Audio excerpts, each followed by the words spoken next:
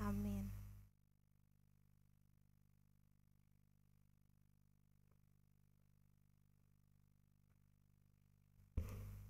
dini mbalimbali mbali. Upendo, haki na amani. Kuanzia sasa, hiyo ndio itakuwa salamu yetu. Ukija hapa kuongea, lazima uanze na hiyo salamu, sawa eh? Maana naona inatusumbua sana, tuifanyie mazoezi. Naam, napenda nichukue fursa hii kuwakaribisha tena kwa siku nyingine kwenye shughuli yetu ambayo tumeianza jana, na bila kupoteza wakati, naomba nichukue fursa hii kuwakaribisha paneli ya kwanza inayoongozwa na Comrade Evans Rubara. Ujiongee hapa mezani kwa ajili ya kuwakaribisha wazungumzaji wako, na kama nilivyotangulia kusema, hizi dakika tano ambazo nimezitumia bado zinaangukia kwenye saa moja yako na nusu. Ni maagizo ya Field Marshal sasa, haya hayana hakuna demokrasia hapa. Kwa hiyo nitakuomba sana ujitahidi kaka yangu kumaliza saa nne na nusu. Asante sana na karibu.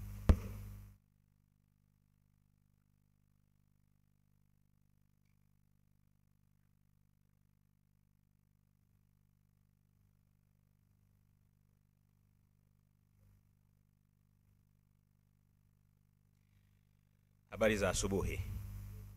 Dini mbalimbali, mbali, upendo na amani.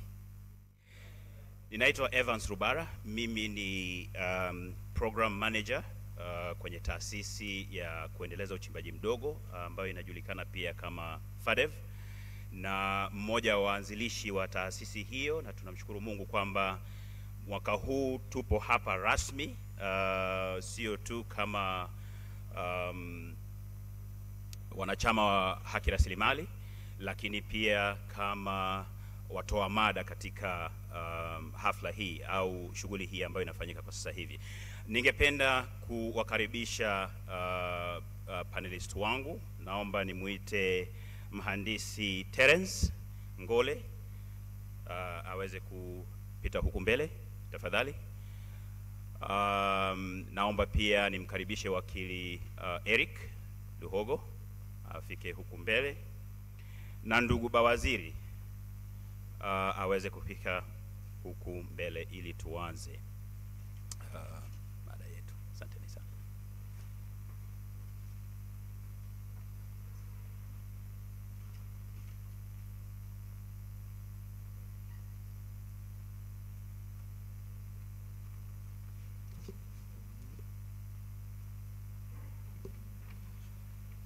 Um, kabla tujaanza naomba uh, tujaingia kwenye mada, naomba tuanze kwa utambulisho na nitampa nafasi kila uh, panelist aweze kujitambulisha. Uh, nitaanza na ndugu Terence. Karibu.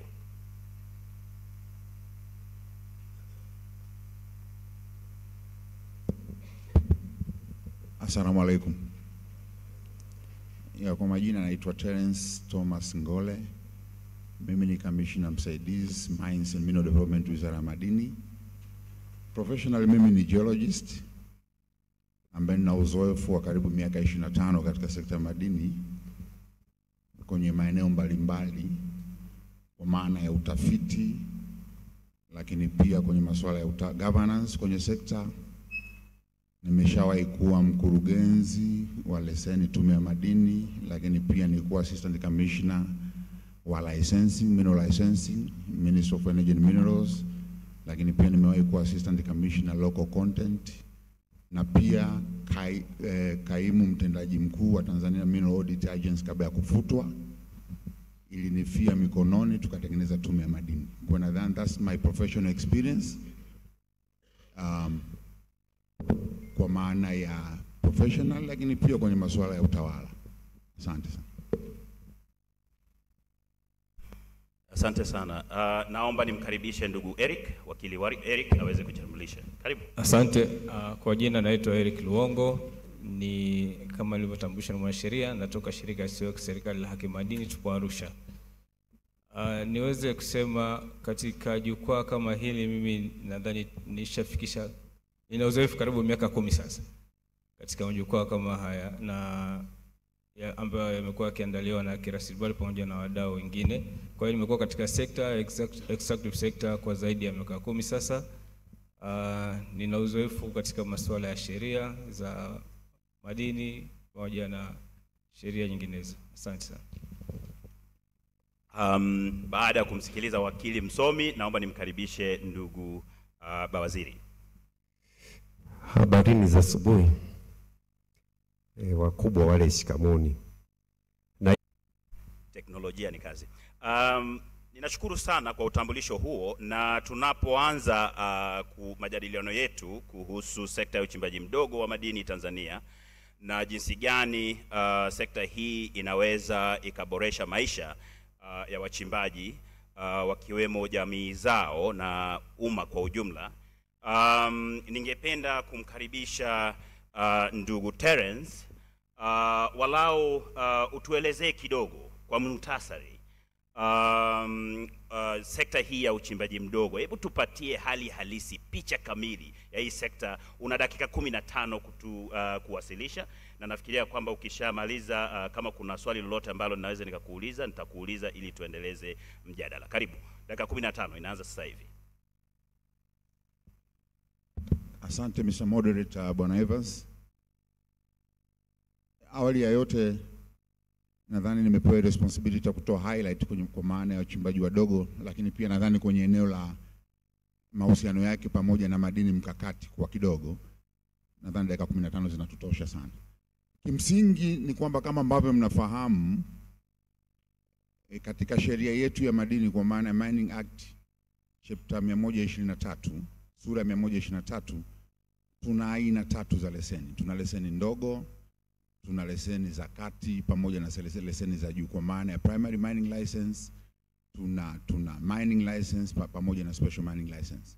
Kwa nini nimeanza kulisema hilo? Ni kwamba kwa mujibu wa sheria yetu wachimbaji wadogo, kwanza kwa kuanzia niseme neno moja kwamba kwa, kwa mujibu wa sheria ya madini hairuhusiwi, kifungu cha sita, hairuhusiwi kuchimba pasipokuwa na leseni ya madini.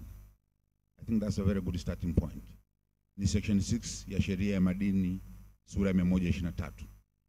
Kwa msingi huo ndio maana sheria ikaainisha aina za leseni mbalimbali ambazo kuna leseni za wachimbaji wadogo, kuna leseni za wachimbaji wa kati, lakini pia kuna leseni za wachimbaji wa juu. Sasa wachimbaji wadogo ambao tunawazungumzia kimsingi wao ni wamiliki wa kitu tunachoita primary mining license kwa maana ya PML. Hizi ni leseni kwa ajili ya wachimbaji wadogo na hizi ni kwa ajili ya Watanzania. Narudia, ni kwa ajili ya Watanzania. Wageni hawaruhusiwi kumiliki primary mining license. Kwenye somo letu tunalozungumza habari za wachimbaji wadogo, wote tukumbuke kwamba tunazungumza habari za wamiliki wa leseni ndogo za uchimbaji kwa maana ya primary mining license. Sasa kwa msingi huo ni kwamba kwa miaka mingi kama mnavyofahamu uchimbaji Tanzania ume, umeanza miaka mingi sana tangu miaka elfu moja mia nane huko, lakini kwa miaka mingi mchango wa wachimbaji wadogo haujawahi kuwa na uzito, labda niseme hivyo.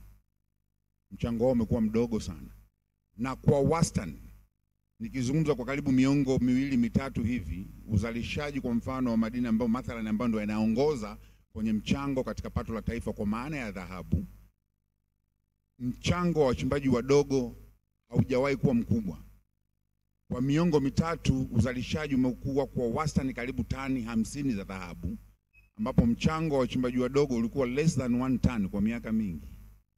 Kwa nini? Kwa sababu kwanza, uh, sio kwamba walikuwa wazalishi, walikuwa wanazalisha, lakini hakukuwa na mifumo ya, ku, ya kucapture huo uzalishaji. Matokeo yake dhahabu nyingi ilikuwa inatoroshwa kwa maana smuggled na kusababisha isiwe captured kwenye, kwenye, kwenye, kwenye uzalishaji rasmi wa kiserikali. Kwa kwa kiwango kikubwa wachangiaji wakubwa walikuwa ni migodi mikubwa, na nimesema kwa wastani uzalishaji wa dhahabu kwa Tanzania kwa karibu miaka 30 iliyopita ni, ni tani hamsini hivi on average, tani hamsini hivi. Mwaka jana, mwaka juzi tumezalisha tani hamsini na tano lakini bado unaona ina range hapo, ukitafuta wastani ni karibu tani hamsini hivi, ili tuwe na picha pamoja kama rule of thumb. Kwa msingi huo mchango wa wachimbaji wadogo umekuwa mdogo kwa miaka mingi sana, lakini for the past five years, for the past five years mchango ambao ulikuwa less than 1%. Sasa hivi tunazungumza mchango wa wachimbaji wadogo specifically kwenye uzalishaji wa dhahabu baada ya kutengeneza mifumo ya masoko kama ambavyo mnafahamu, kwa sababu sasa hivi tuna masoko yale ya madini ambayo mnayafahamu yapo karibu 40 na kitu yamezunguka nchi nzima. Tumeweza kuongeza ukusanyaji na mchango wa wachimbaji wadogo, na sasa hivi mathalan kwenye upande wa madini ya dhahabu wanachangia asilimia 40. Hata kama mpendi, pigeni makofi. Ni asilimia 40. Kwa nini tunasema asilimia 40? Ambayo ni around karibu tani 20 22 hivi ukilinganisha na tani 55 ambazo ni jumla zinazalishwa kwa wachimbaji wakubwa na wadogo. Naomba turudie kupiga makofi tena. Nitaeleza kwa nini tupige makofi. Unapozungumza mchango wa wachimbaji wakubwa ambao wana teknolojia kubwa na mitaji mikubwa ni asilimia sitini na mchimbaji mdogo ambaye anachimba kwa teknolojia ndogo na mtaji mdogo asilimia arobaini, jamani, mnahitaji kupiga tena makofi. Kuto kupiga makofi na maana mjaelewa hichi ambacho na emphasize e, kwa sababu huyu mdogo kuchangia 40% hii ni contribution ambayo ni very significant, very very significant. Kwa sababu gani nasema ni significant? Ukilinganisha na mtaji aliyoweka, mitaji yenyewe ya kuungaunga, lakini pia teknolojia mnavyoifahamu, huyu mtu amezalisha asilimia arobaini. Je, huyu mtu akiwezeshwa itakuwaje? Definitely ana uwezo wa kupita uzalishaji wa wachimbaji wakubwa. Tukiweka mikakati, tunaweza kuongeza uzalishaji na kuwazidi wachimbaji wakubwa. Kwa hiyo hiyo ndio hali halisi ya wachimbaji wadogo Tanzania. Mchango wao sasa hivi tunavyozungumza ni karibu asilimia arobaini kwa maana ya revenue especially kwenye madini ya dhahabu, lakini pia madini ya vito wana mchango mkubwa, madini ya ujenzi, madini ya viwandani pia wana mchango mkubwa, kwa maana kwamba kwa kiwango kikubwa, kwa mfano kwenye madini ya viwandani hatuna uwekezaji mkubwa, ni uwekezaji mdogo. Kwa kimsingi, sekta ya uchimbaji mdogo nchini ina mchango mkubwa, pamoja na changamoto kadhaa wa kadha ambazo inakutana nazo, lakini nadhani tupo kwenye hatua nzuri na tunaamini kwamba kama tutaendelea kuboresha basi kuna uwezekano mkubwa wa sekta ndogo ya wachimbaji wadogo kuweza kuchangia zaidi ya wachimbaji wakubwa. Baada ya kusema hayo, naomba pia nitoe highlight kidogo in connection na subject ambayo tunaizungumza ya maana ya clean, safe and clean technology as well. Waheshimiwa wajumbe, nilikuwa naongea na moderator hapa nikamwambia ni vizuri tupate hiyo highlight iwe tu on the same page kuhusu masuala ya ya clean, critical minerals. Of course kuna Kiswahili tunasema ni madini mkakati ingawa moderator mimi kidogo personal, this is very personal, nisingetamani sana kuyaita madini mkakati. Sitabadilisha jina, lakini niendelee kuitwa madini mkakati kwa sababu kimsingi madini mkakati kwa Kiswahili fasaha ni strategic minerals. Kuna tofauti kati ya strategic minerals na critical minerals. Watu wengi wanachanganya sana. Strategic minerals can be anything ambacho ni strategic, lakini critical mineral by definition ni zile ambazo supply chain yake ipo endangered to be disrupted. Endangered to be dis disrupted. Kwa maana ipi? Kwamba zipo kwenye hatari kwa sababu demand yake ni kubwa kuliko supply. Narudia, demand yake ni kubwa kuliko supply, na dunia inahangaika, tutapataje haya madini? Kwa sababu from the known sources hatujabada bado picha kujua kwamba tutatoa wapi madini mengine wakati uhitaji ni mkubwa. Ndio maana inaitwa critical minerals, kwamba supply chain yake iko endangered inawezekana sio leo, lakini next 5, 10, 20 years hatuna uhakika kwamba tutakuwa na, na supply ambayo ni resilient. Sio kama naeleweka. Kwa kwa msingi huo, that's a critical mineral. Sasa tunapozungumzia critical mineral, kwa nini hizi critical minerals zimeemerge now? Why? Of course ni kwa sababu ya agenda ya climatic change. Mabadiliko ya hewa kama ambavyo mnafahamu, dunia imekusudia kukeep 1.5 degree centigrade, kwamba temperature isiongezeke sana zaidi hapo. Ndio maana tunazungumza habari ya net zero carbon. Ndio maana tunazungumza ajenda za kuwa na renewable, safe and clean technology, kwa maana green technology. Green technology maana yake ni kureplace technology ambazo zilikuwa nazalisha nishati lakini zikisababisha pia pollution kwenye mazingira kwa kutengeneza gesi ukaa.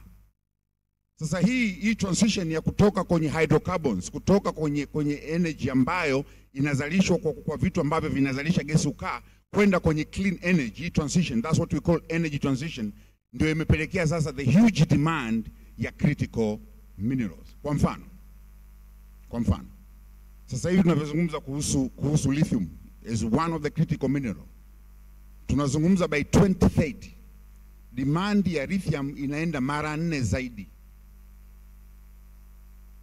Hii inazungumza from the statistics za mwaka 2021 kwamba the current reserve globally ni tani laki nne na tisini. Naomba tusikize vizuri, laki tani laki nne na tisini, lakini by 2030 demand ni tani milioni mbili, kwa ni mara nne zaidi. Nadhani mnanielewa, ni mara nne zaidi. Sasa watu tunajiuliza where does this lithium come from? Na tunapozungumza 2030 we are talking about 7 years from now, si ndio? Sasa miaka saba unatoa wapi lithium ambayo ni mara nne zaidi? Sijui kama naeleweka. Na from the geological perspective, ili kuanza kutafuta migodi mpya leo eh, mama mchungaji, unafahamu it can take even 20 years na bado usipate.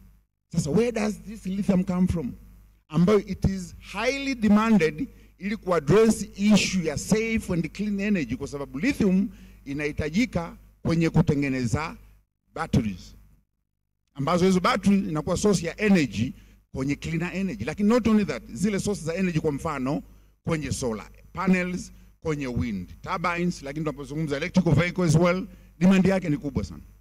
Haya, leo tunasema by 2030, nakupa hizi ni world nani statistics kwamba by 2030 tunatarajia nusu ya magari duniani ni magari ya umeme.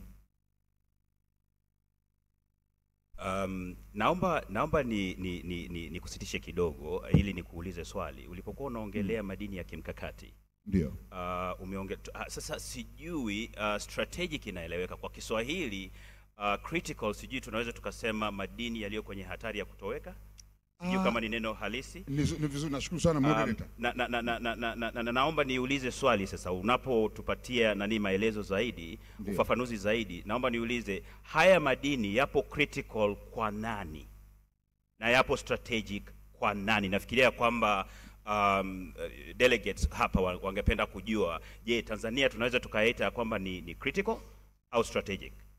Ni katika mazingira yapi yanaitwa critical? Katika mazingira yapi yanaitwa strategic? Yeah, it's a very good question. Ni kwa nani critical? Maana saa nyingine wazungu wanasema neno moja apemanship, unyani ule, kwamba saa nyingine unaweza sema hichi kitu ni critical, kumbe ni critical kwa mwenzako. Actually tunapozungumza agenda ya climatic change, it's a global agenda, tunakubaliana? It's a global agenda kwa sababu kuongezeka kwa joto duniani athari zake haziishii Ulaya na Marekani, zinakuja mpaka Afrika. Kwa hiyo labda kwa kujibu hoja yako ni kwamba hizi critical mineral related na masuala ya energy transition ni critical to the whole world, ni concern ya dunia, E, kwa sababu tunapozungumza mabadiliko ya hali ya hewa, sisi wote ni waathirika. Tunaona leo mvua hazinyeshi, tunahangaika na umeme hamna na kadhalika. Hizi zote ni athari za mabadiliko ya hali ya hewa. Kwa kimsingi, changamoto hizi sio za Marekani tu, changamoto hizi ni za dunia nzima. Kwa kujibu swali lako ni kwamba hii critical mineral with respect na energy transition ni global agenda, na sisi kama mnavyofahamu tumesaini mkataba ule wa Paris kama nchi. Kwa definitely tunahusika kwa sababu tulisaini kwa kujua kwamba na sisi ni moja kati ya waathirika, ni lazima ili swala tuliaddress. Kwa ni critical kwa nchi zetu pia. Lakini kujibu swala la pili ni kwamba nadhani tuendelee na jina mka, madini mkakati kwa maana critical mineral, lakini kwangu mimi ningeita ni madini adhimu au adimu. This is very personal, naomba isio noted, lakini tuendelee kuita hivyo madini mkakati kwa maana ya kuleta na kunogesha maana halisi ya neno critical mineral. Sasa nikirudi kwenye ajenda yangu, nimezungumza habari ya lithium ambayo tunahitaji almost four times more by 2030, lakini kuna madini kama kopa kwa mfano, tunazungumza by 2030 kutakuwa na upungufu wa tani 4.7 million tons za kopa. Upungufu, nazungumza habari ya upungufu lakini pia nikizungumza kwenye lithium uhitaji by 2030 we talk of 2 million tons. Sasa hivi tuna 490,000 tuna expect by 2030 kama hakuna vyanzo vipya, ina maana kutakuwa na upungufu wa karibu tani laki saba kutokana na demand ambayo inahitajika by 2030. Kwa unaweza kuona kuna changamoto kubwa sana duniani kwa maana ya hizi critical mineral ili ku address agenda ya green technology, zile teknolojia ambazo ni safe na clean kwa ajili ya dunia. Baada ya kusema utangulizi, naomba niishie hapo. labda labda labda kabla hatujampigia uh, makofi nafikiria kwamba kuna kipengele muhimu sana ambacho uh, assistant commissioner tungependa utuelezee tunaongelea haya madini adhimu au madini mikakati ambayo yanahitajika kwa ajili ya uzalishaji uh, ya nishati safi. nafikiria hiyo ndio kazi yake. Je, Tanzania yapo? Oh, Na kama yapo kiasi gani? Swali Unaweza, unaweza ukatupatia numbers, how many in numbers? I will give you some numbers. E, ni kwamba kama ambavyo moderator, asante moderator, ni kweli haya madini ambayo ni ya kimkakati tunayo Tanzania. Kwa mfano tuna madini ya rare earth yapo kule Songwe, hayo ni moja kati ya madini mkakati, rare earth elements, nadhani nimeshawahi kusikia. Madini haya kwa Tanzania tuna reserve kubwa sana, we have got almost 214 million tons hivi ninavyozungumza, tuna tani zaidi ya mia mbili ya rare earth elements ile ya Songwe kule. Lakini pia madini mengine mkakati ambayo tunazungumza ni nickel. Nickel nadhani wengi mnafahamu Kabanga kule. Kuna project ya Kabanga, si ndio? Of course kwa maana ya JV tumetengeneza hizi JV eh, serikali pamoja na haya makampuni. Ile kampuni ya, ya, ya Songwe kule inaitwa Tembo. Hii ya huko ya nickel tunaita nini? Eh, ndio Tembo, sorry nimechanganya. Ya huku tunaita nini hii? Oh, sio faru tena, nayo dayari yake hapa nimesahau. Mamba na twiga mnafahamu ni, ni barik Of course tutamaliza majina ya, ya wanyama afu tutaanza majina ya vyakula vile vile. Nilikuwa namtania Lucy muda fulani. Kwa actually tunayo madini, tuna lithium Tanzania kama mnavyofahamu Homboro na hii ukanda huko kwenda mpaka Singida. Tuna graphite, a lot of graphite kwa maana kwenye eneo hili la Morogoro tunazungumza mpaka huku kusini Mtwara na kadhalika. Kwa mfano kule Mahenge kuna reserve mpaka 300 million tons ya graphite. Kama mnavyofahamu graphite nayo ni madini muhimu sana kwenye utengenezaji wa mabetri kwa maana ya anode kwenye mabetri. Lakini rare earth elements ni madini ambayo yanatumika kutengeneza permanent, strong permanent magnet. Hizo magnet ndizo zinazozalisha nini? Ume, umeme kwenye magari ya umeme. Lakini pia tunayo madini ya, ya, ya nickel ambayo yanatumika pia kwenye betri, tuna cobalt, eh, tuna copper, tuna aluminium, tuna manganese, yote hayo ni some of the madini ya critical mineral ambayo tunayo Tanzania. Asante, asante sana ndugu Ngole. Um, nafikiria kwamba ame ameihandle hiyo issue kwa uh, utashi mkubwa sana. Jamani, tumpe makofi. Wakati ambapo tunaongelea swala la mhamo wa nishati, tunajua ya kwamba madini haya ambayo tumeambiwa yapo hapa Tanzania, kuna madini ambayo yatachimbwa na wachimbaji wadogo. Sekta ya uchimbaji mdogo ni sekta ambayo kwa muda mrefu sana imekumbwa na changamoto kadha wa kadha. Sasa mimi sio mchimbaji, lakini miongoni mwetu tuna mchimbaji ambaye tungependa atuangazie changamoto wanazokumbana nazo katika shughuli zao, na labda baadaye tutarudi kwa ndugu Ngole utuambie kama uh, na nakuandaa mapema utuambie kama katika haya madini ambayo sasa hivi uh, yamepata yame- yame- yame- kasi uh, ya uhitaji, je, kuna mangapi ambayo yatakuwa yanachimbwa na hawa wachimbaji wadogo? Hiyo nitaiweka reserve, lakini naomba nimkaribishe ndugu Bawaziri atuambie, atuelezee changamoto zipi wana, uh, wanakumbana nazo wakati ambapo wa, wakifanya shughuli zao za uchimbaji mdogo. Karibu. Asante sana. E, katika uchimbaji mdogo, uchimbaji wadogo, sisi tuna shida kubwa sana katika uchimbaji wetu, kwani mara nyingi tunachimba maeneo ambayo hayajafanyiwa utafiti wa kutosha. Tunachimba kwa kubahatisha. Kumbe tungeomba serikali ifanye utafiti kwenye maeneo yetu ili tuweze kuchimba kwa tija bila kubahatisha na kuweza kuokoa mitaji yetu. Tunatumia fedha nyingi sana kuchimba shimo bila kujua kuna nini tunachokitafuta kule chini. E, tarehe ishirini na moja mwezi huu mwezi wa kumi tulipokea mitambo hapa nchini kwa ajili ya utafiti kwa ajili ya wachimbaji wadogo, lakini kwa bahati mbaya mpaka sasa mitambo ile haijafika site.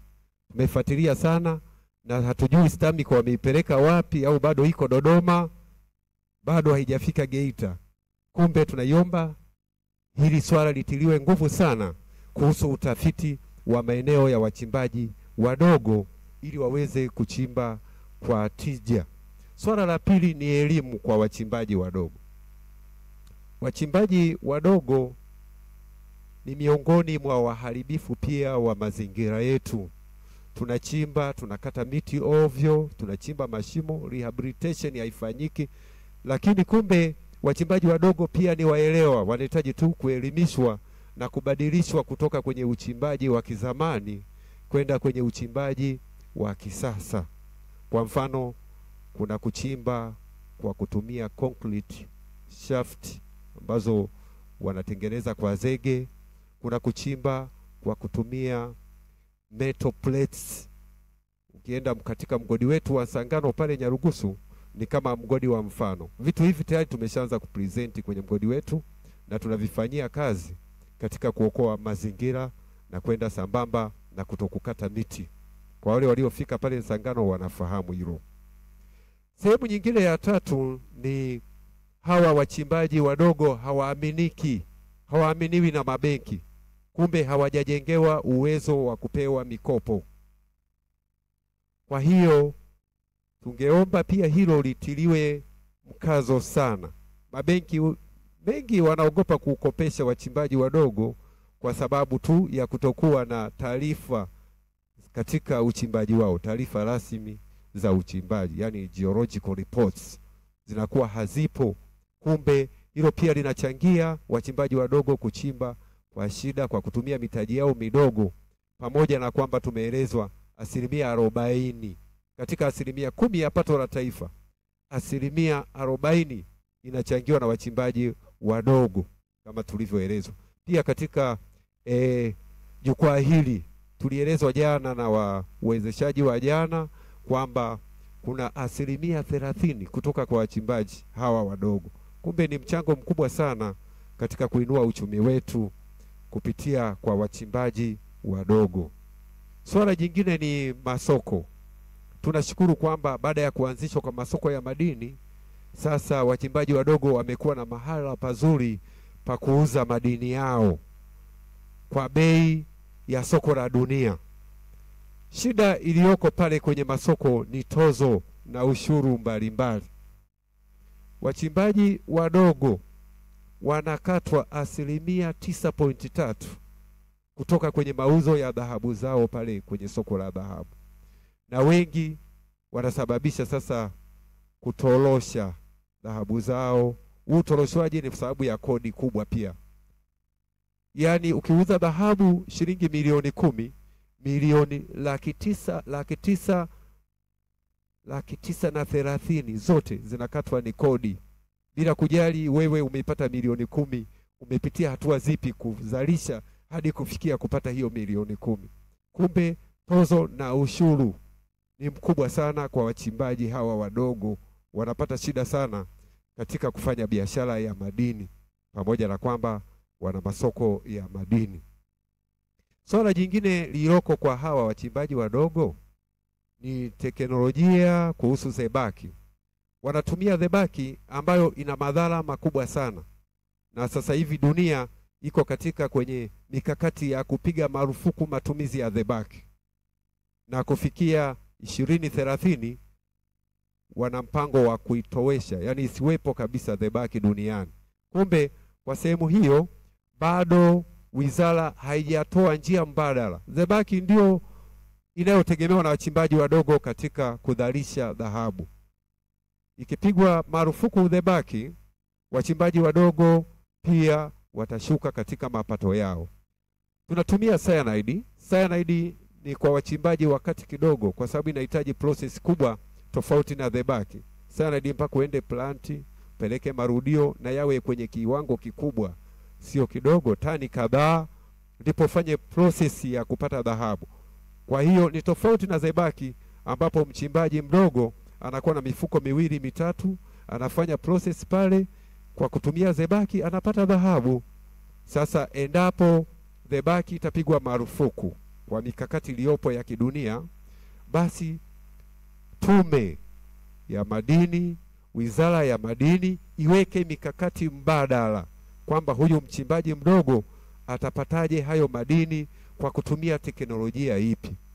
Kuna teknolojia moja ilikuja inaitwa shaking table kwa kutumia gold culture, lakini hiyo pia imelinganishwa na ufanisi wa zebaki, bado zebaki imeonekana the best kuliko shaking table katika kupata kiwango kikubwa cha dhahabu, yani udhalishaji. Kumbe bado bado hatujapata njia mbadala kwa hilo la thebaki. nalo bado ni hoja kwa wachimbaji wadogo kwamba uchimbaji mdogo unaenda kupotea endapo thebaki itapigwa marufuku kabisa. Swala jingine ni imani.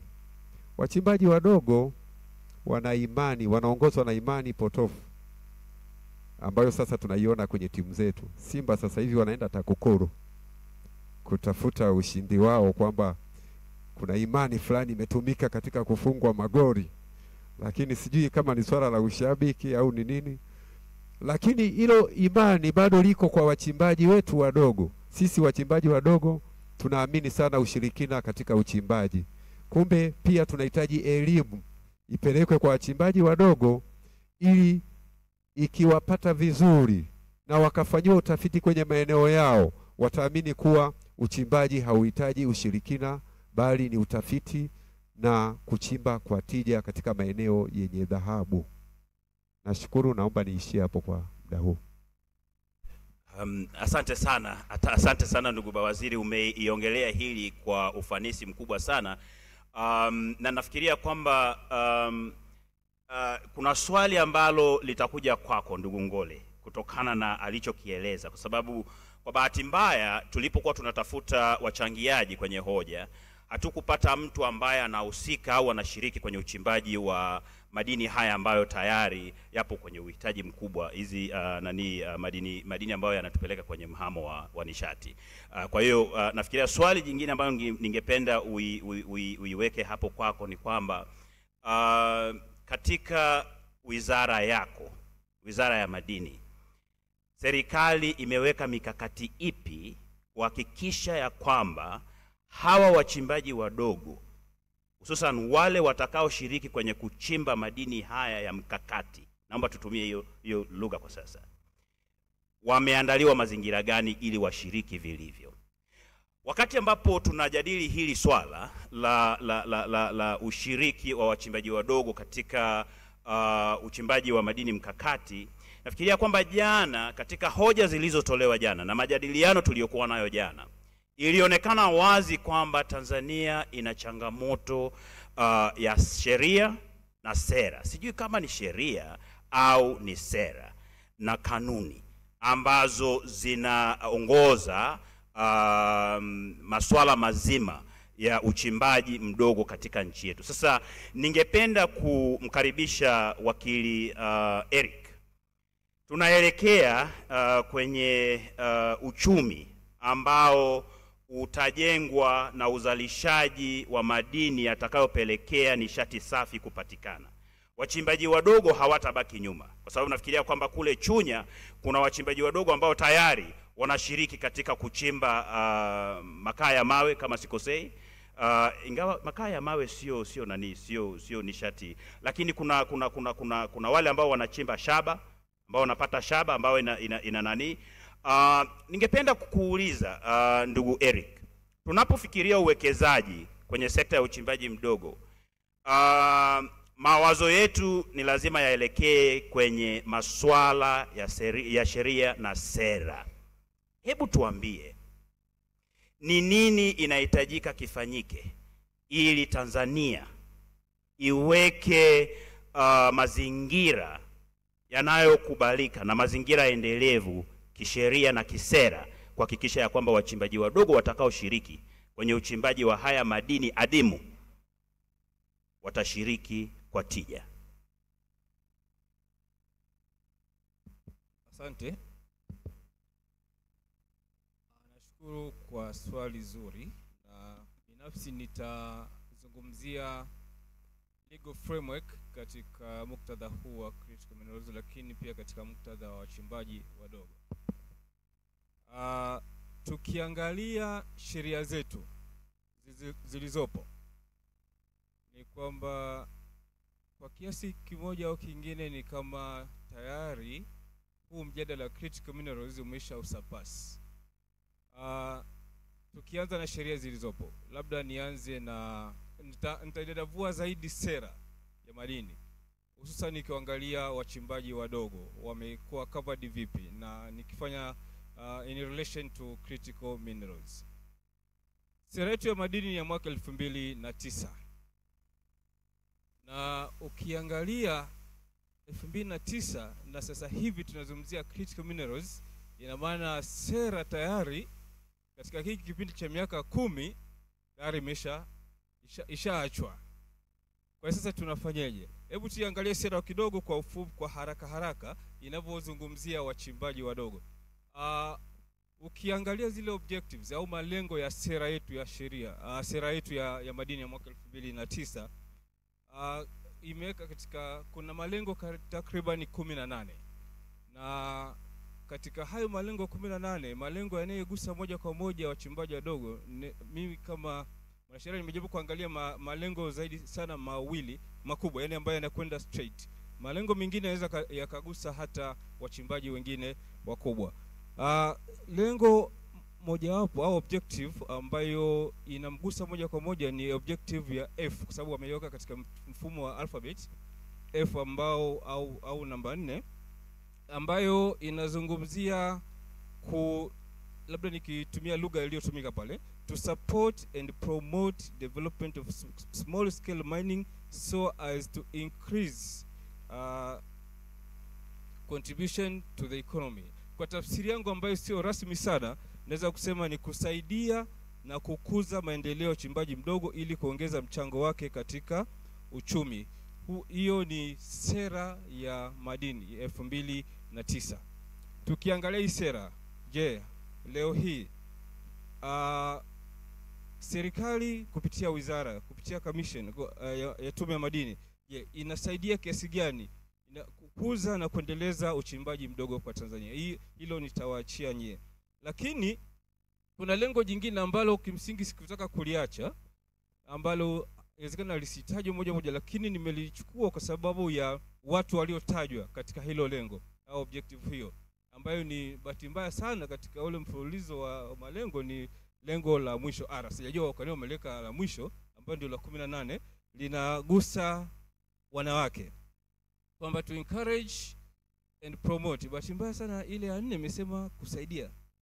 Sawa? Hu- huko kwingine inasema to encourage and promote women participation in mining activities and strengthen enforcement of laws and regulations against child labor in mining activities kwa tafsiri ambayo pia sio rasmi ni kuhimiza na kukuza ushiriki. Kwa yule ambaye anaweza tafsiri nzuri anaweza akanisaidia katika hiyo. Lakini kwa tafsiri yangu ambayo sio rasmi naweza kusema kuhimiza na kush, kukuza ushiriki wa wanawake katika shughuli za uchimbaji madini na kuimarisha utekelezaji wa sheria na kanuni dhidi ya ajira kwa uh, ajira ya watoto katika shughuli za uchimbaji madini.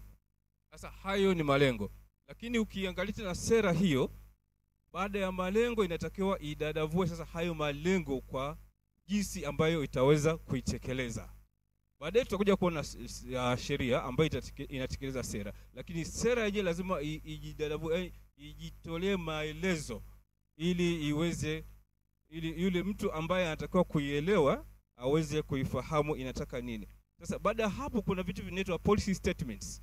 Labda kwa tafsiri ambayo sahihi naweza nikasema ni kauli za, za, za sera. Kamishna hapa atanisaidia kama niko sawa kuzita kauli za sera, kwa maana ya kwamba sera inaongea zile statement, uh, zile objectives na kauli zake zinaongea kwa, kwa, kwa kiango gani zinaweza zikaleta uh, tija katika uendelezaji wa uchimbaji mdogo. Uh, sasa katika hizi policy statements zimewekwa katika kifungu cha tano cha sera yetu ya madini, maana kuna ya kwanza, ya pili, ya tatu, ya nne, kuna ya tano. Sasa hii ya tano ndio inaanza kuzidadavua zile objectives.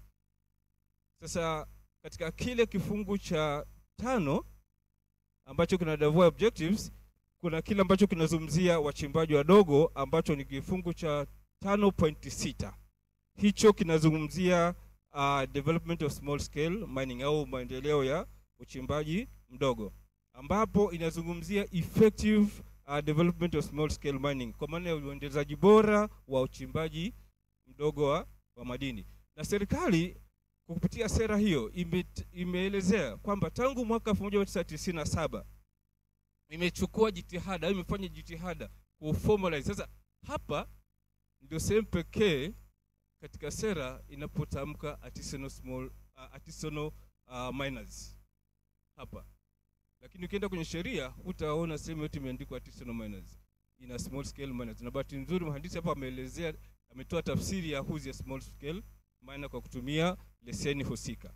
Hapa ndio sehemu pekee artisanal, kwa sababu kwa Kiswahili bahati mbaya sana uh, tunapozungumzia artisanal miners na small scale miners hatuna hatuna maneno mawili tofauti ya kuyatofautisha.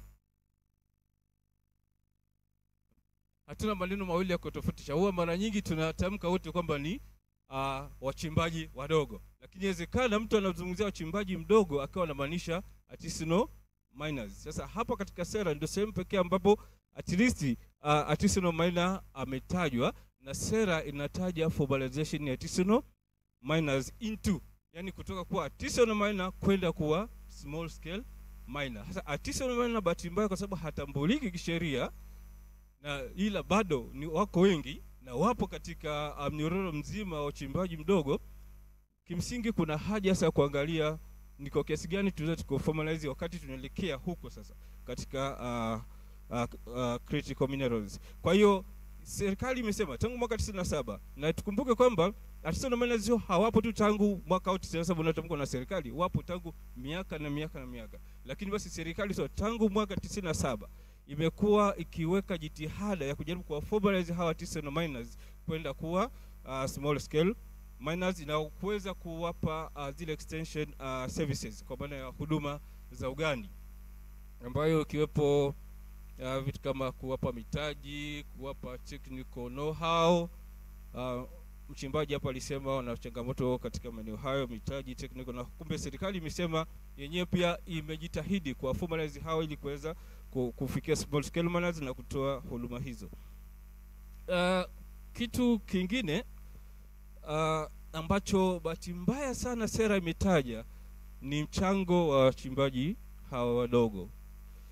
Mhandisi hapa amesema ni kweli, na hata ukisoma uh, taarifa kutoka kwenye tume uh, tume ya madini inasema mchimba, uh, mchango wa wachimbaji mdogo kwa sasa hivi umeshafika asilimia arobaini. Tena wamejipambanua kwamba tangu mama ameingia alikuta mchango ukiwa ni asilimia ishirini, sasa hivi asilimia arobaini. Kwa maana hiyo tushaenda mara mbili yake, kwamba mama anaupiga mwingi uh, na hili bahati mbaya tena kingine ambacho sera yetu sasa ndio nikasema japo tumesema mchango wetu wa wachimbaji wadogo ushafika asilimia arobaini sera bado imebaki na maneno yale yale kwa sababu kumbukeni sera ni elfu mbili na na tisa. Uh, sera inasema mchango wa wachimbaji wadogo katika uchumi bado ni imetumia lugha ni insignificant. Sasa insignificant kwa tafsiri ya Kiswahili naomba nisiiweke, kila mtu ataangalia maana yake, lakini ndivyo sera inavyosema.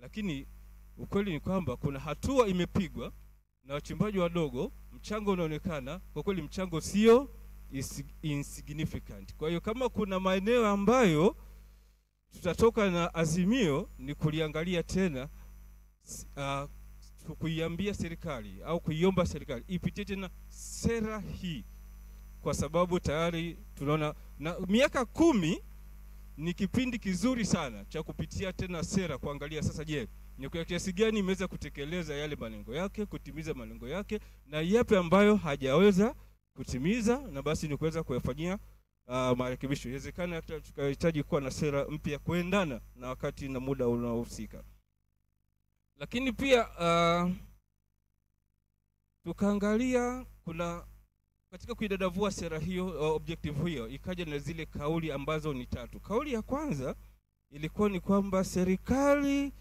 itaendeleza na kutekeleza baadhi ya program ili kuweza kuinua uchimbaji mdogo uwe katika uh, katika uchimbaji uliopangwa na uchimbaji wa kisasa.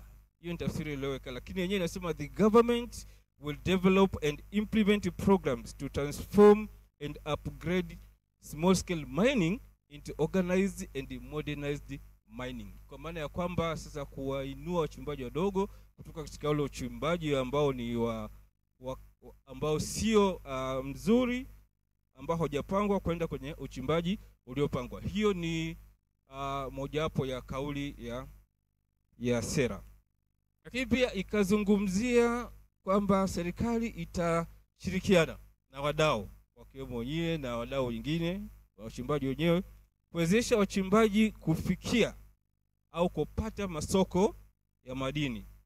Taarifa za kijiolojia alizungumzia hapa, kuna tatizo la, la taarifa za kijiolojia, pia kiufundi, kwa maana ya technical know-how na huduma za kifedha. Tukiangalia tukiipima sera katika kauli ya sera hii katika muktadha wa sasa hivi, unaona kwamba je, uh, soko la madini ni kweli serikali imejitahidi kwa kiasi kikubwa. Karibu kila kanda au karibu kila mkoa kuna masoko ya madini ambayo wachimbaji wadogo wameweza kuyafikia.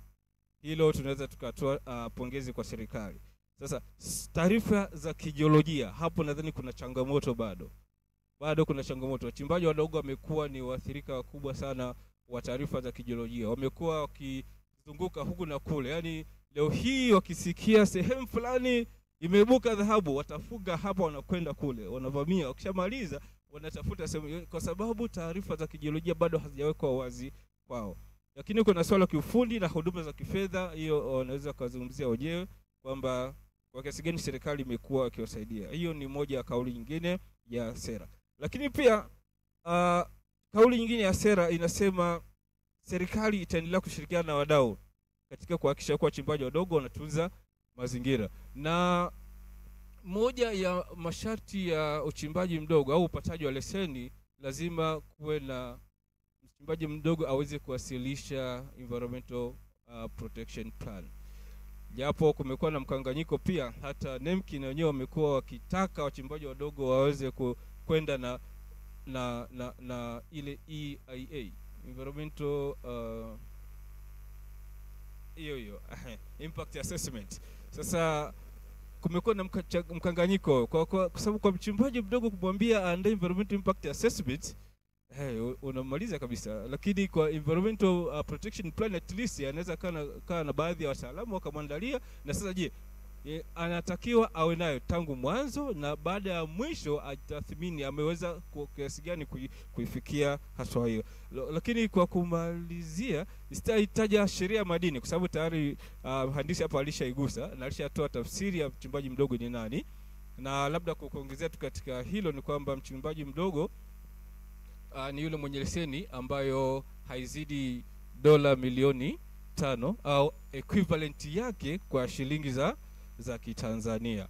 Hiyo alizungumzia. Lakini uh, labda niishie hapo kwa sababu naona moderator ananiangalia. Kuna mambo mengine bado sijamaliza Um, Asante sana, nafikiria kwamba baadaye tutapata nafasi ili uweze kuyaongelea haya yote, lakini mawasilisho yaliyofanywa asubuhi hii uh, kabla hatujarudisha um, mjadala kwa uh, delegates uh, inaonyesha kwamba Tanzania ina utajiri mkubwa sana na Tanzania ipo kwenye position sehemu nzuri sana ya kufaidi um, nafasi zitakazokuja na uchimbaji wa madini haya ambayo yanalenga uh, kutumika kwenye uzalishaji wa nishati safi. Um, nina maswali mengi ambayo nitayauliza. Uh, ndugu Eric, naomba uiweke hili. Um, umeongelea sheria mama ya Tanzania haiwaongelei artisanal miners lakini tukiangalia sheria mama ya Kenya, nchi jirani na Uganda, wao wanatambua uwepo wa artisanal miners. Tukiangalia kwenye sheria mama ya Kenya, wao actually wanasema kwamba hawa artisanal miners. Sasa kuna mkanganyiko hapa, ni akina nani tutawaita wachimbaji wadogo, small scale miners, na kina nani tutawaita artisanal miners? Nafikiria kwamba tunahitaji definition ambayo itatenganisha. Kwa sababu kwa kiingereza tuna, tuna, tuna utenganisho. Tuna artisanal and small scale miners. Kwenye kiswahili tuna wachimbaji wadogo. Sawa. Ambayo equivalent yake ni small scale miners.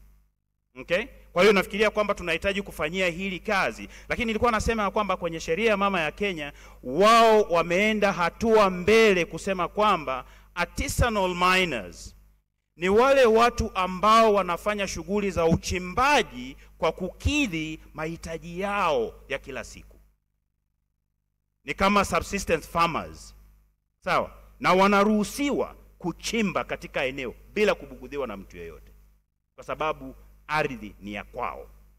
Sheria mama ya Kenya inasema hivyo.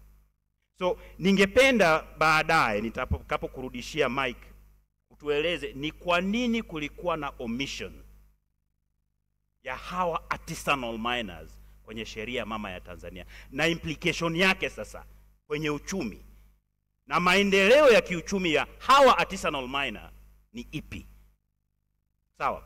Na ndugu Bawaziri, nitakuja kwako. Um, ndugu Eric ameongelea swala zima la ushiriki au ushirikiano kati ya wachimbaji wadogo na serikali kuhakikisha ya kwamba sekta hii inaboreshwa.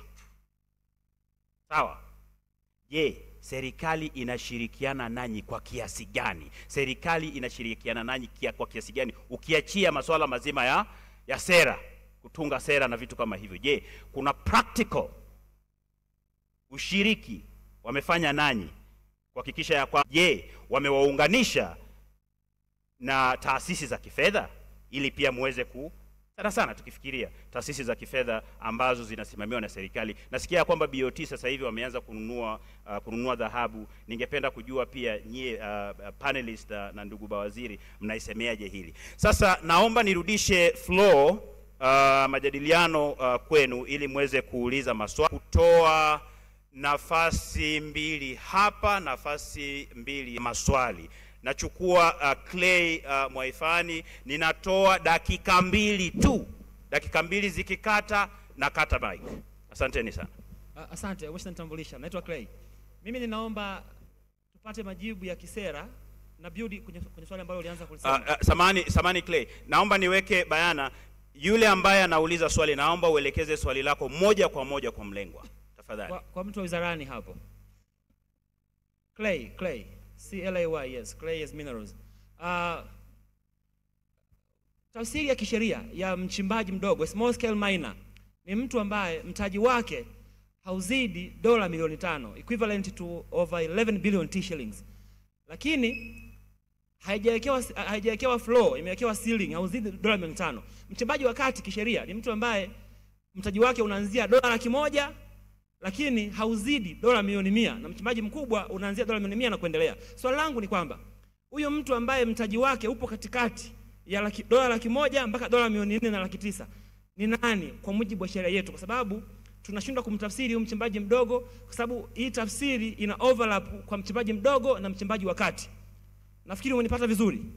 Asante, asante sana Clay. Wa nyuma yako naomba ujitambulishe, alafu elekeza swali lako kwa mlengwa. Asante. Naitwa Rais Bonibatu. Kwanza natoa angalizo, mwape watu muda waongee. Mambo ya kuwapa muda da Samahani kaka, naomba uulize swali. ni sawa kabisa, lazima tuongee. Tumekuja hapa kutoa mawazo, hatujaja hapa kukali- ku- kupasha viti moto. Swali la kwanza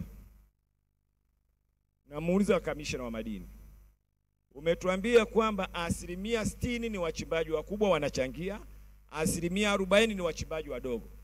Serikali ina mkakati gani wa kuinua wachimbaji wadogo ili wafikie at least asilimia hamsini kwa sababu wanafanya kazi wenyewe. Serikali ina mkakati gani? La pili, ofisi yako inaonyesha inaongoza kwa kuchangia migogoro. Ofisi yako inaonyesha inaongoza kwa kuchangia migogoro. Wanachukua maeneo ya watu kufanya tathmini, hawalipi fidia kwa wakati. Je, nini hatima yao watu wanaochukuliwa maeneo yao kwa kulipwa fidia na faida juu kwa ucheleweshaji wa, wa nani wa, wa, wa, wa, wa, wa, wa, wa fidia wanayochukua ardhi yao. Tatu,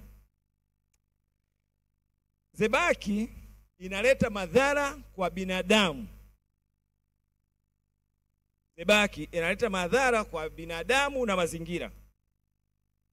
Na mimi tangu nitembee kwa umri wangu sijawahi kuona duka la zebaki. Utaniambia zebaki inatoka wapi? Haya. serikali na mkakati gani? Haya, asante, asante. Hapa katikati huyu dada alikuwa wa kwanza. Karibu, dakika mbili. Asante. Naitwa Messi Masanga kutoka Tanzania Women in Energy. Nina Messi Masanga kutoka Tanzania Women in Energy. Nina swali kwa Assistant Commissioner. Sasa hivi kuna swala la environmental social governance na nilikutana na one of the company ambayo wanatoa mi, uh, mikopo kwa artisanals na small scale miners, lakini kwa kigezo cha kwamba awe na environmental social governance framework. Nilikuwa natamani kufahamu what is the status kwa Tume ya Madini kuhusiana na environmental social governance. Mna promote, mnajengea uwezo hawa wachimbaji wadogo kuweza kuandaa hizo framework au bado mnasubiria baada ya wakati ndio itakuja kuhalalishwa? Asante. Asante sana masi Uh, tunarudi tunaenda huku. Uh, nani alinyoosha mkono wa kwanza? Huyo kaka. Karibu. Dakika mbili. Jitambulishe.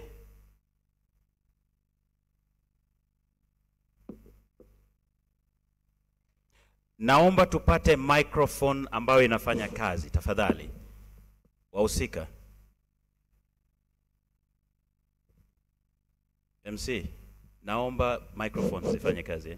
Eh, mimi napenda kutoa shukurani kwanza kwa kamishina wa madini uwepo wake hapa, naibu kamishina amesema yeye ni mtoa reseni. Jina langu naitwa George Minoja Mgashi, natoka Maganzo cha Shinyanga. This dialogue where I'm coming from.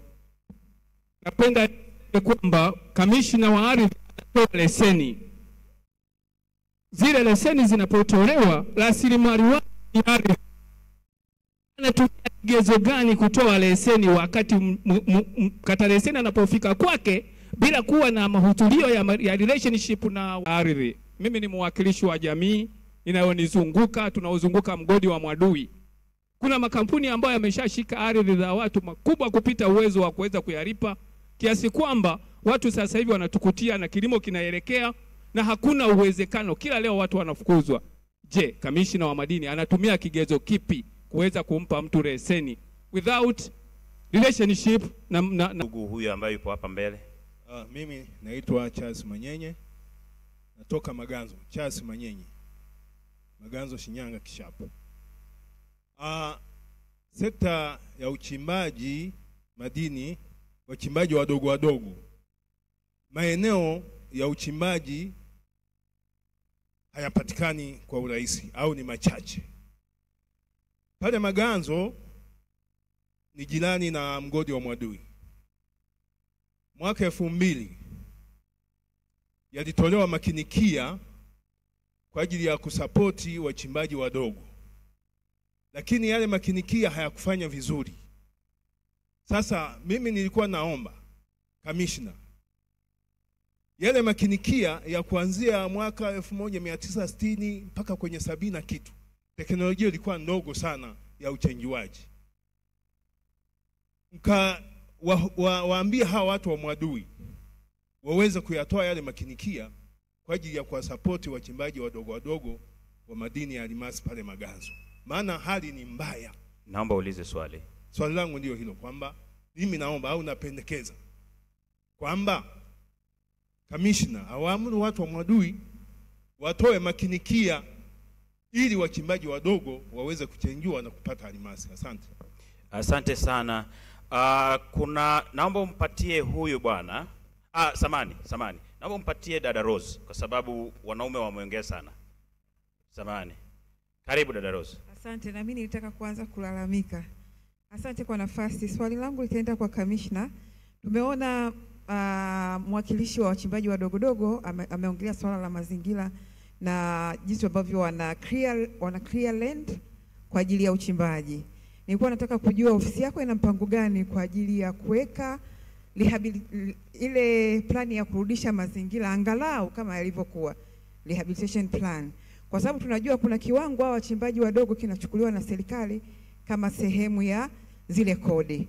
Je, mnaweza mna, kwa namna gani ambavyo mnaweza mkatumia hata ile kurejesha yale mazingira angalau yafanane na vile ambavyo yalikuwa yapo awali? Asante. Asante sana. Naomba nirudishe uh, naomba mike iende upande huo wa kushoto uh, au ndugu wawili. Alafu nitamwomba ndugu Shakira, niliona mkono wake tangu mwanzo, naye pia ndugu wawili wale wakimaliza. Karibu. Karibu. Jitambulishe dakika mbili. Asante. Mimi ni Rajabu Mniama na nilikuwa nahitaji kufahamu kutokana na ma... Uh, naomba urudie jina lako tena tafadhali.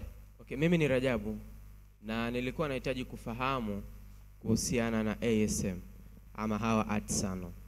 Katika pitapita zangu za kujaribu kupitia uh, literature reviews nimeona kuna mataifa amefanikiwa katika kuyafanya kuwafanya hawa artisano waweze kuwa waweze kutambulika kisheria, waweze kuwekewa policy and legal framework na vitu kama hivyo.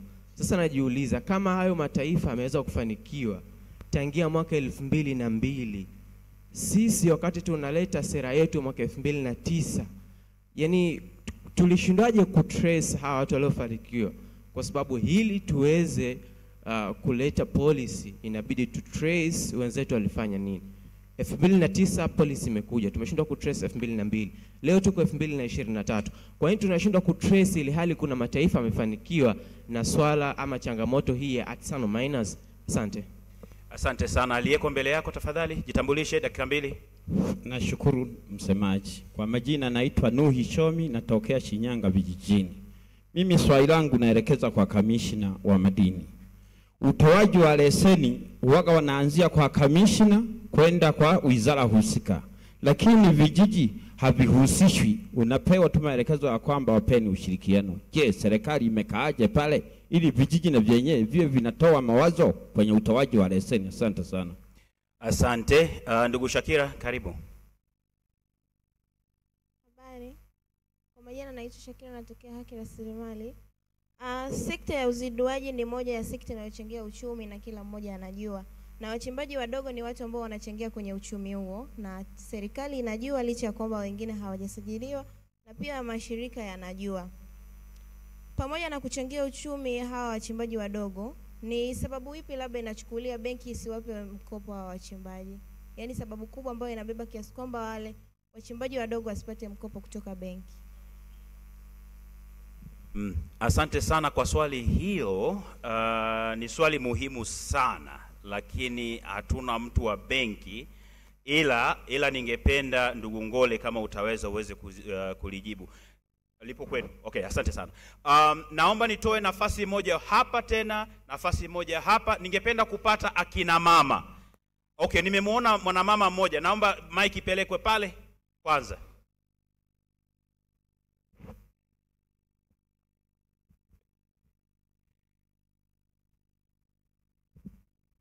Asante. Kwa majina naitwa Anna Alphonse, natokea manispaa ya Kahama. Kahama, manispaa ya Kahama.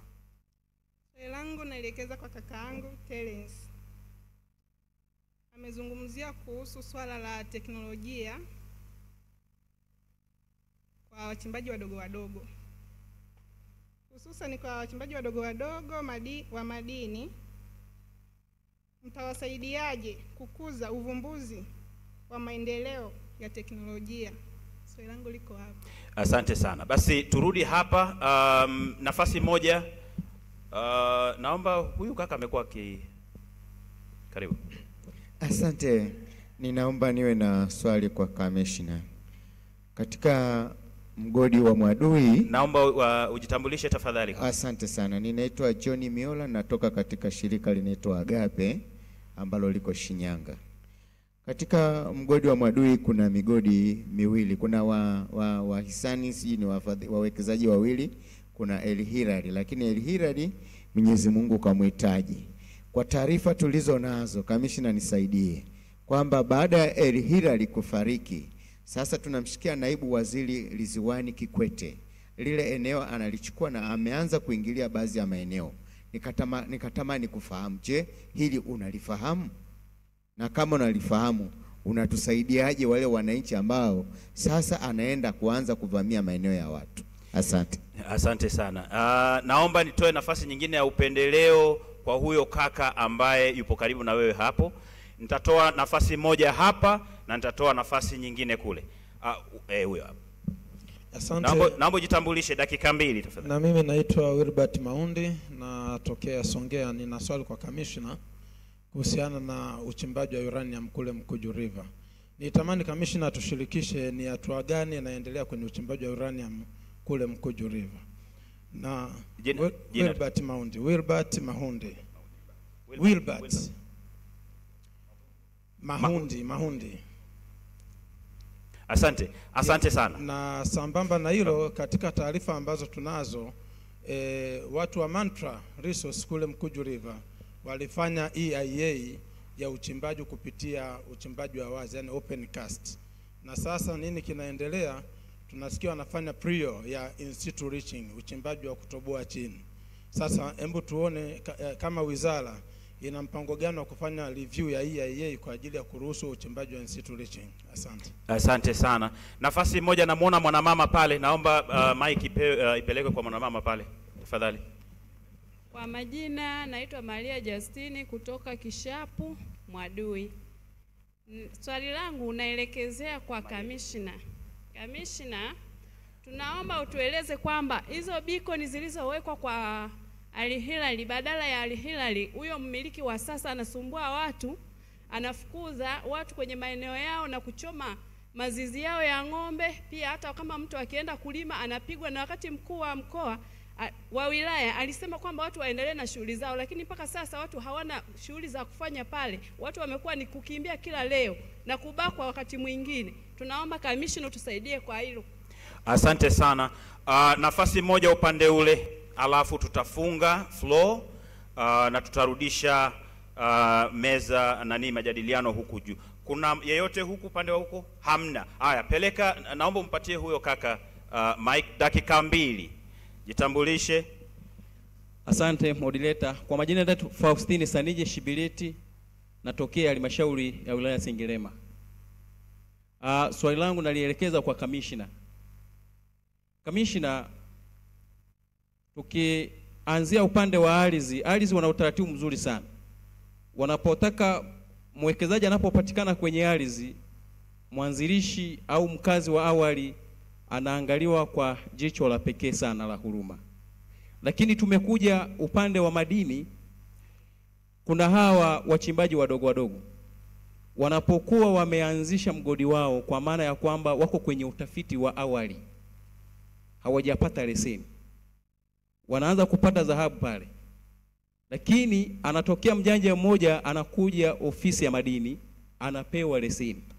Kwa nini ofisi ya madini isiwe na utaratibu wa kumuuliza huyo mtafuta leseni kwamba hilo eneo unalotafuta tunaliona kweli liko wazi, hakuna shughuli zinazoendelea pale za uchimbaji, ili kama ni ndio, basi kuwe na consideration ya hao watu waliopo awali na yeye anayetafuta leseni, kama haki inayopatikana kwa watu wa ardhi. Asante. Asante sana. Upendeleo, dakika moja. Naomba mpatie huyu kaka uh, ndiye atakuwa wa mwisho kabisa. Um, uh, Mike. Asalamu alaikum. E, kwa majina naitwa Odongo Paulo Sumba e, kutoka Kahama. Zaidi tu nina base katika bu, niko Bulyanhulu Kakola. Swali langu nadhani kwa sekta kubwa ya pekee ambayo kwa kweli mheshimiwa, itabidi utuvumilie kwenye sekta madini. Naomba tuvumilie maswali, naweza hata yakifika mia utapokea. Zaidi tu ni kwamba hata mimi nilikuwa ni base swala la exploration au, au kwa wachimbaji wadogo. Wachimbaji wadogo wamekuwa wakichimba wakifanya utafiti wanapata na chimba, lakini unashangaa wanatokea wale magiants eh, ambao wa- wanakuwa karibu na commission wakiwa na lesson zaidi ya mia. Kwa hiyo anaingia hapo, unashangaa bwana, unatolewa unaambiwa bwana, samani eneo hili lina lesson yake kutoka mwaka 98 ya bwana fulani fulani eh, Baraka kutoka sasa, inajikuta sasa unajiuliza Swali, sasa swali tafadhali. Swali langu sasa e, na, na, kwa, na, na, na, na, na, na, na, na, na swali langu lina base katika uh, mineral commissioner kuhusiana na, ha- na hawa wachimbaji watasaidiwaje kwa hawa wa wawekezaji ambao wana leseni nyingi? Kwa nini eh, eh, wana, leseni ambao wanavamia ma- ma- maeneo kwa, kwa, kwa nguvu za, za, za leseni hususan commissioner ndio ndio watusaidie eh, kututetea sisi wachimbaji wadogo. Maana tumekuwa tukipewa ambushi. Sasa watusaidiaje kama commissioner ili sisi na sisi tupate haki zetu sisi wachimbaji wadogo tujitawale. tujinafasi hata zaidi tupate mikopo sisi tujiwezeshe. Asante sana. Asante sana. Um, Commissioner, umevamiwa leo na inaonekana kwamba watu wana hamu na kiu kusikia majibu kutoka kwako. Sasa naomba tu nitoe mwongozo. Maswali yako mengi na kuna maswali ambayo yanaweza yakajibiwa uh, wakati ambapo tuna uh, bado tupo hapa, unamtafuta kamishona anatoa majibu, lakini naomba u, u, ujizatiti kwenye yale maswali ambayo unaweza ukajibu kwa manufaa ya wengi, na kuna mengine ambayo actually yanahitaji uh, nani um, ufuatiliaji zaidi. Sheria uh, hakimadini mko hapa na nafikiria kwamba uh, nyie mnaweza mkatoa nani kama wale ambao inasemekana kwamba uh, watu wanapigwa, watu wanabakwa, mambo kama hayo, na nafikiria kwamba BHRT pia mpo hapa ambao mnaweza mkashughulika na haya mambo. Unaweza ukaongea na huyu dada ambaye ametoa hilo eh, nani uh, swali hilo. Sasa tuna dakika kumi na tano kamili kumaliza. Naomba kwa sababu maswali mengi yameelekezwa kwa kamishna, naomba nikupatie dakika tano uweze kujibu maswali ambayo utaweza kuyajibu. Mengine tutahakikisha ya kwamba hawa watu wanapata nafasi ya kujadiliana na wewe kadiri tunavyoendelea siku hii kabla haijaisha, ili waweze kupata majibu. Karibu.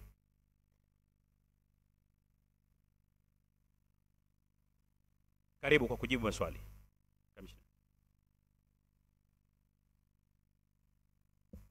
Halo, halo, halo. Ima, ima kidogo so strong. Ile nyingine iko wapi?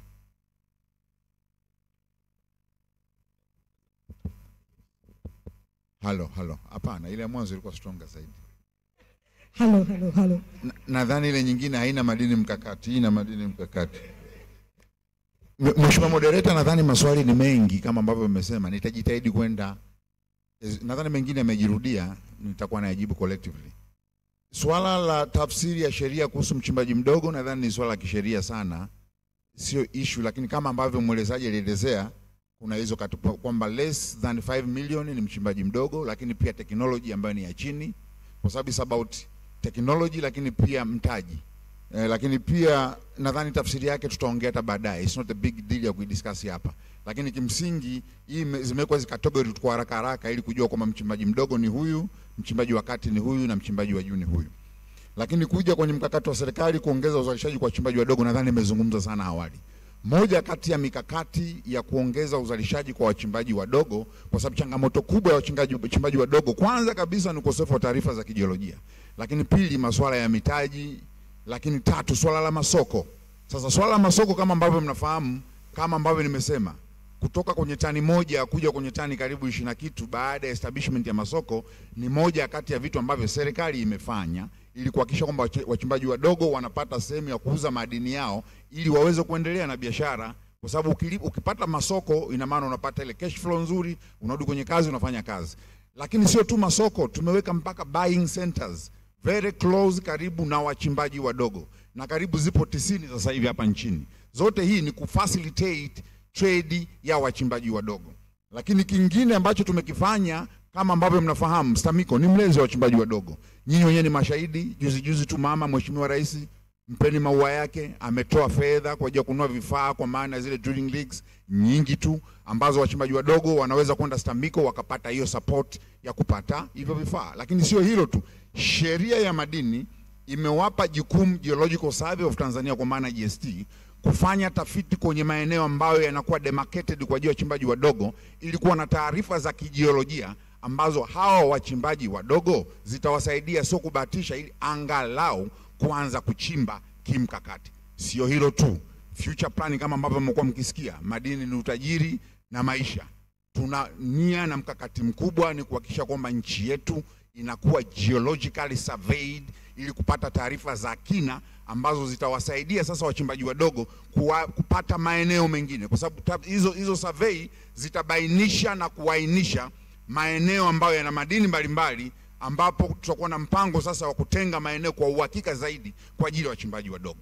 Kwa hiyo kimsingi ni kwamba serikali ina mikakati mingi, mingine imekwisha tekelezwa na mingine iko njiani kutekelezwa, lakini lengo ni kuhakikisha kwamba wachimbaji wadogo wanaendelezwa, wanakuwa wakubwa, ili mwisho wa siku waweze kuwa na mchango mkubwa zaidi kuliko hata wachimbaji wakubwa. Nikija lingine, kuna swali nasema wanachukua maeneo na kuchelewa kulipa fidia.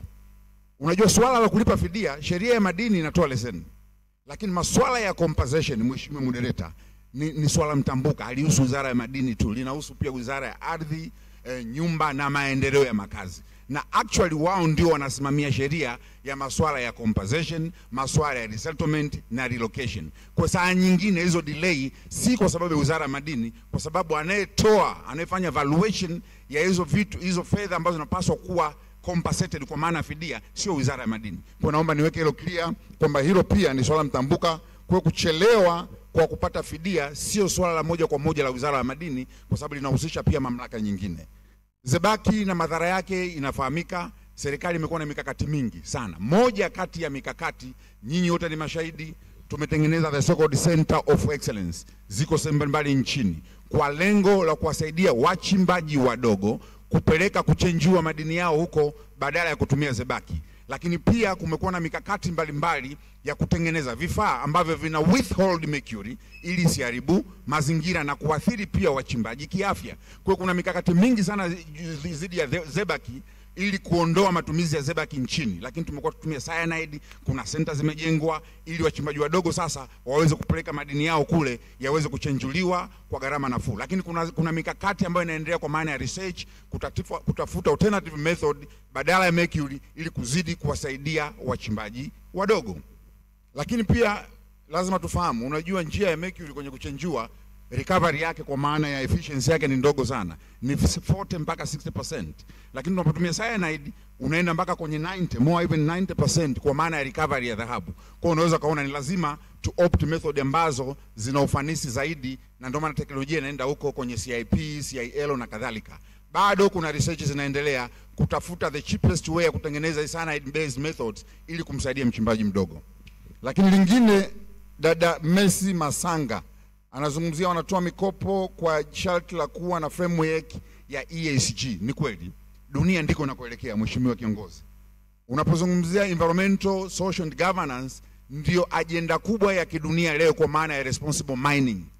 Kwa mfano, unapozungumzia hata kwa wachimbaji wakubwa, ili watu waweke hela kwenye stock market, ni lazima haya makampuni yawe compliant na issues za environmental social and governance is one of the criteria kwa shareholder kuweka hela, kwa sababu sasa hivi dunia inazungumza sio tu habari ya kuchimba, lakini unachimbaji. That's why we call it responsible mining. Kwa hiyo sio tu kwa wachimbaji wakubwa, lakini hii inashuka chini mpaka kwa wachimbaji wadogo. Ndio maana kuna kitu kinaitwa environmental management plan, ambao ni takwa la kisheria kwa wachimbaji wadogo kuwa na hiyo plani, namna ambavyo watachimba responsibly ili kuhakikisha kwamba uchimbaji wao ni endelevu, lakini hauharibu mazingira, lakini unatoa tija kwa leo na kizazi kijacho.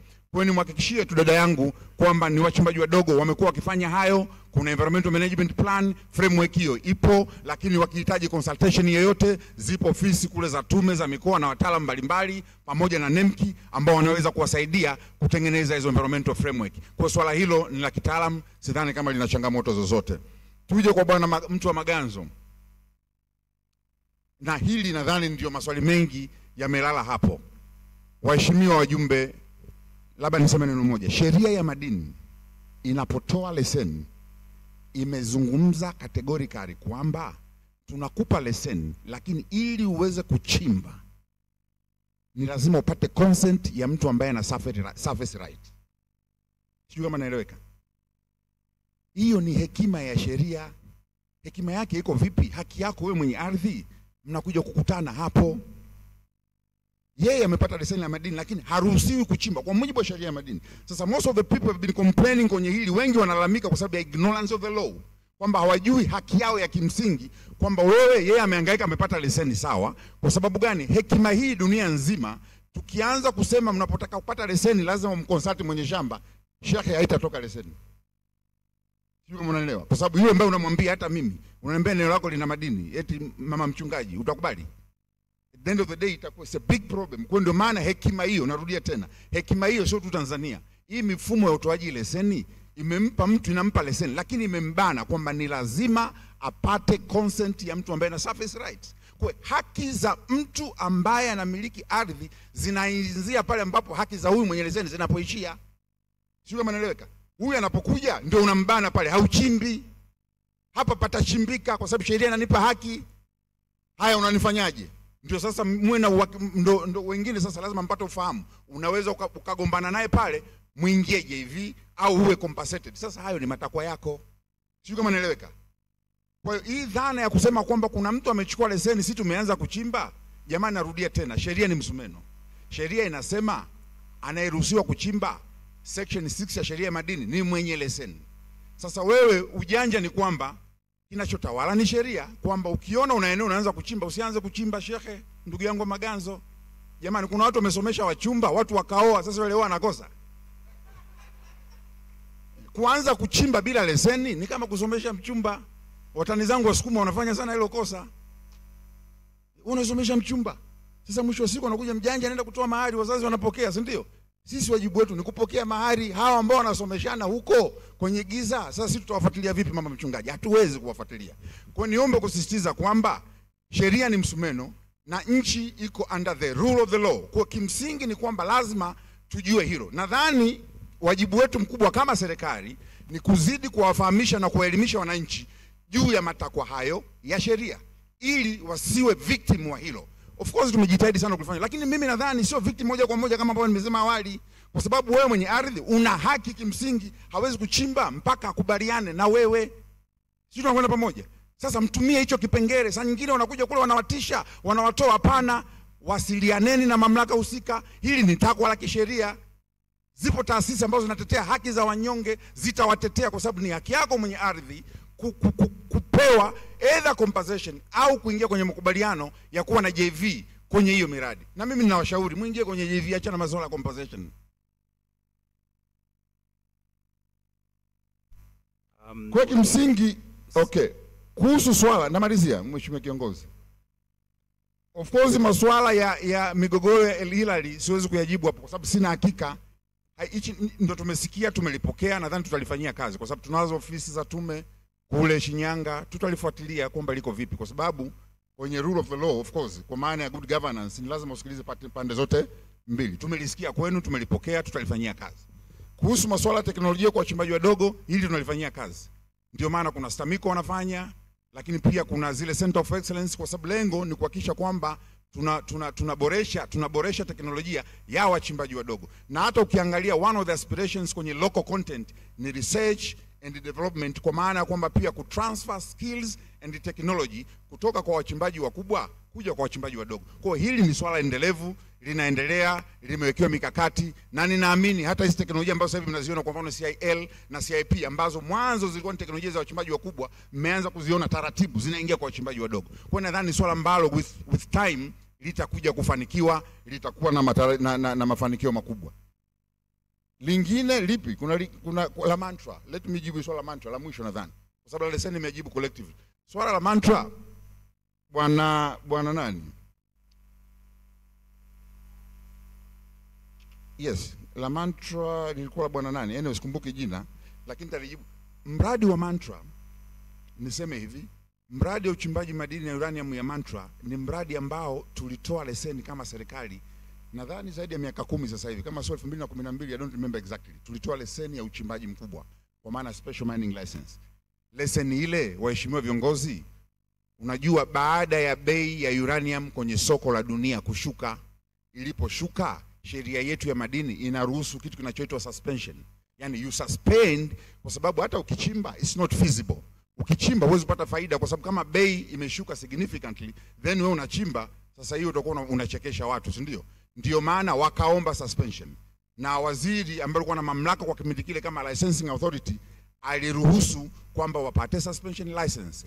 Kama unakumbuka ile leseni ilikuwa ndani ya Selous Game Reserve, lakini very unfortunate or unfortunate ni kwamba sasa hivi lile eneo la Selous Game Reserve limekuwa upgraded into national park, inaitwa Nyerere National Park. Sasa moja kati ya changamoto kubwa, ukija kwa watu wa conservation, watu wa maliasili wenyewe wana, wana ranking zao, Yani national park ni high level ya conservation ambayo inahitaji masharti magumu sana ya kuchimba. Kuna ongoing discussions kati ya serikali na Mantra pamoja na TANAPA na taasisi husika ili kuhakikisha kwamba uchimbaji una resume, kwa sababu kama mnavyofahamu uranium ni muhimu sana katika nyakati hizi ambazo tunazungumza. Kuna uhitaji mkubwa sana wa energy. Kwa kumalizia, Uhitaji huu wa energy ambao kwa kiwango kikubwa utajazwa na madini mkakati. Tunazungumza in the next 15 years, miaka 15 ijayo, demand ya madini mkakati including uranium inagharimu karibu dola trilioni 1.7 zinahitajika ili kuweza kuresolve kupata hayo madini, na hii ni kwa mujibu wa International Energy Agency ambayo inasimamia masuala ya transition to safe and uh, clean energy. Dola, narudia tena, dola 1.7 trillion USD. Asante kiongozi. Asante sana uh, kwa majibu hayo mazuri. Uh, wewe ulikuwa na maswali mengi, kwa hiyo nimekupatia nafasi kubwa sana kujibu kwa sababu ni muhimu. Um, lakini nafikiria kwamba nita, nitaenda kwa ndugu yetu Eric. Kuna follow up questions ambayo ambazo nili, nili, nili, nili, nili nani niligusia. Naomba da, kwa dakika mbili uweze kuyahandle na mengine tunaweza tukajadili baadaye. Alafu baada yako kumaliza, naomba uki, uki, uki, uki, ukijibu ukitoa ufafanuzi, naomba useme neno lako la mwisho, alafu nitaenda kwa ndugu yetu Bawaziri ambaye nitamuuliza ushirikiano kati ya wenye migodi na serikali ipoje na inawasaidia kwa kiasi gani. Dakika mbili, alafu nitampatia ndugu Ngole dakika moja ya kusema neno la mwisho. Karibu Eric. Asante. Uh, ulizungumzia kuhusu omission ya sheria katika kuwataja au kuwa define artisanal miners, na nikiunganisha na swali la Rajabu kuhusu baadhi ya nchi ambazo zimeweza kuwa na definition au kuwa, kuwa accommodate hawa artisanal katika sheria zao. Uh, kwanza omission inakuja kwa sababu ya category yani nadhani kuna struggling ya kuwa define kabisa who are these. Kwa sababu ukishampa leseni tayari anakuwa ni small scale miner. Sasa Tiso hiyo hana leseni. Na ndio maana serikali inafanya jitihada sana sasa kuwatoa kule ambako kufanya uchimbaji bila leseni kuwapeleka katika uh, matumizi ya leseni ili kwanza iweze kuwatambua na kuweza uh, kupata zile rasilimali ambazo serikali imekuwa iki, ikizitoa kwa wachimbaji wadogo. Lakini kuhusu swala la Rajabu ni kwamba mi nadhani eh, wizara imesikia uh, swala lake, amesema amepitia uh, maandishi mbalimbali na kuona kuna baadhi ya nchi zimeweza ku wa include hawa katika sheria zao. Nadhani hiyo ni swala la best practice. Labda serikali sasa iangalie, ichukue kama ni best practice. Je, yeah. ni kwa kiasi gani imeweza? Kama sisi tunaweza ku struggle mpaka tumeshindwa kabisa kuwa define katika sheria zao, hizo nchi zimewezaje ku, kudefine na kuweza kuaccommodate katika sheria sheria katika legal framework zao? Labda labda hiyo ichukuliwe na serikali kuona ni kwa kiasi gani sasa hawa tisa ambao ni wengi kweli kwa Tanzania wanaweza kuwa accommodated katika mifumo yetu ya, ya sheria.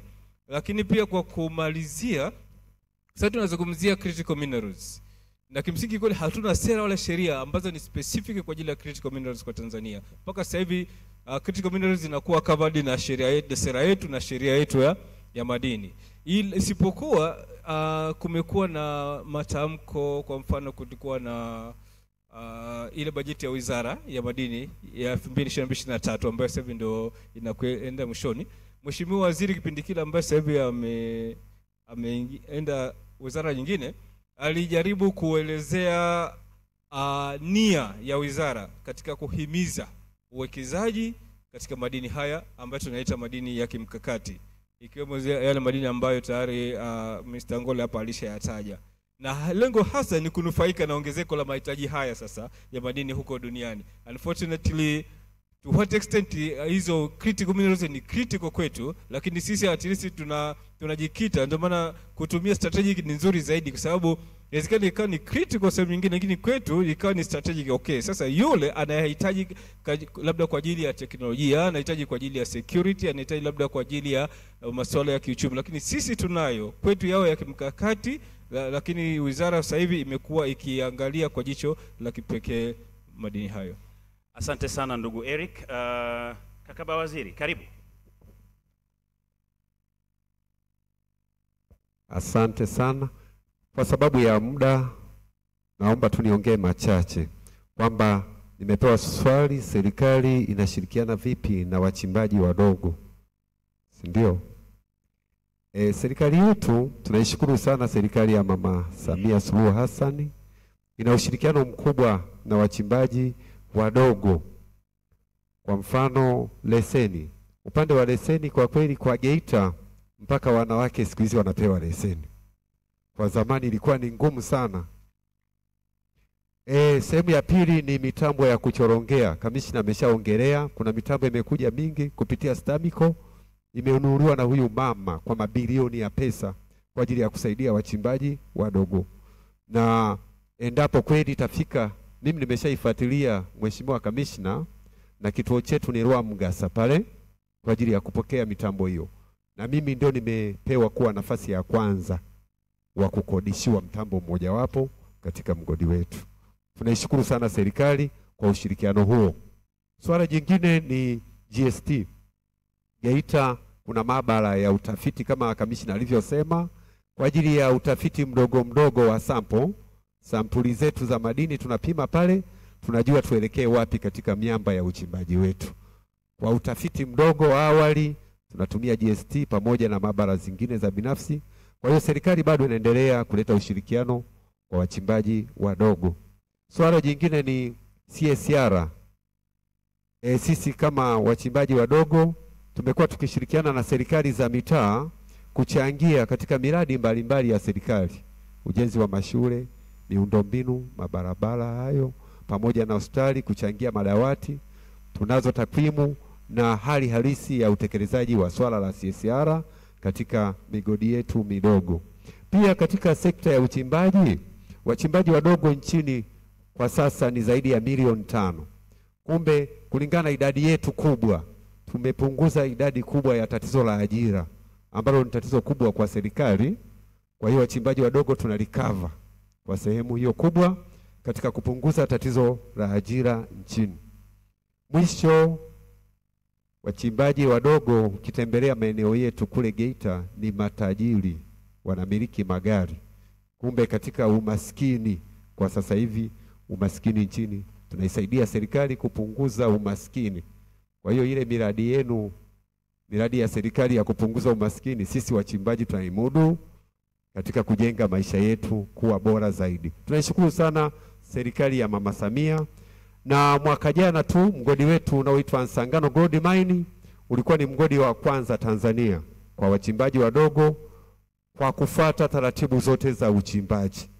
Mheshimiwa Kamishna, naomba unipongeze. Asante. Na shukuru mwaka huu Mheshimiwa Kamishna pia alinitembelea, alikuja pale Nsangano akiwa na wageni kutoka nje ya nchi, aliona jinsi tunavyopambana katika uchimbaji.